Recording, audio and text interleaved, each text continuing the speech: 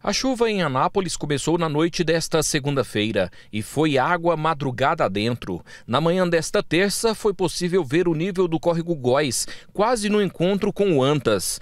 Para evitar o alagamento neste ponto da Avenida Amazílio Lino, na região central, uma escavadeira da prefeitura estava retirando troncos, galhadas e sujeira das aduelas da ponte. Foi neste mesmo trecho que, na noite de 23 de outubro de 2022, aconteceu uma tragédia. O motorista de um veículo tentou passar pela via alagada.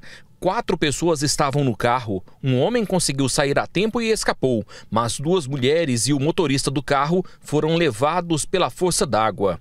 Os corpos foram localizados a alguns quilômetros de distância. Nas primeiras chuvas deste ano, no começo desse mês, rajadas de vento causaram destruição no residencial Leblon, na região leste da cidade. Um morador registrou o estrago. Aí, ó, o, a chuva que foi braba. Aí passou nas ruas ali, derrubou até portão. Aí, ó, você vê como que foi a chuva aqui.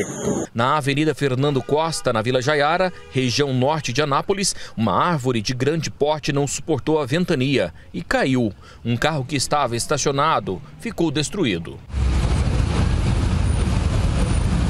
Anápolis tem vários pontos críticos que podem ter alagamentos e inundações em caso de chuva forte.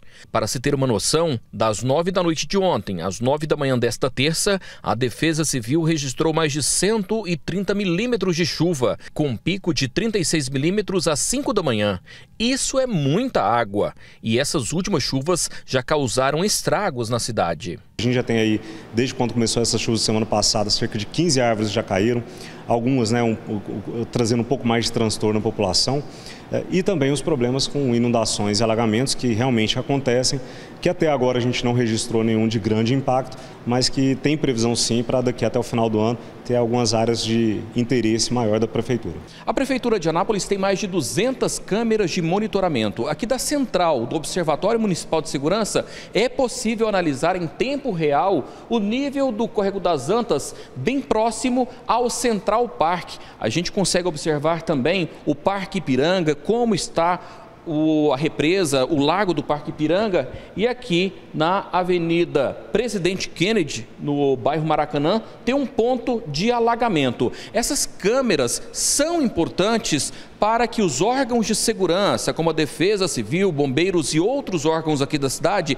consigam definir estratégias rápidas para evitar alagamentos e também inundações aqui na cidade e já tem alerta da Defesa Civil para as próximas horas, com chuvas, raios e vendavais até às 10 da manhã de quarta-feira. Recentemente foi realizada uma reunião entre as forças de segurança e defesa civil para traçar metas para minimizar os riscos durante o período chuvoso. É, a gente até apela para a população também, que já é conhecido, né? diversos, bairros, diversos bairros e locais aqui já são conhecidos devido ao potencial que tem de inundação, de alagamento, de alguns problemas que já são históricos aqui na cidade. Então a gente pede que a população realmente se atente aos alertas, se estiver chovendo forte, desvie desses lugares e nós vamos fazer esse monitoramento, seja o monitoramento em, em tempo real pelas câmeras, mas também com equipes né, que vão estar rodando a cidade, principalmente nesses pontos onde a gente já tem uma maior recorrência.